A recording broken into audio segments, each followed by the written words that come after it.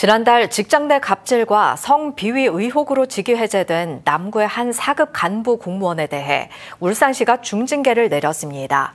울산시는 지난 3일 인사위원회를 열어 중징계 처분을 내렸지만 개인정보 보호 차원에서 정확한 징계 수위는 공개할 수 없다고 밝혔습니다.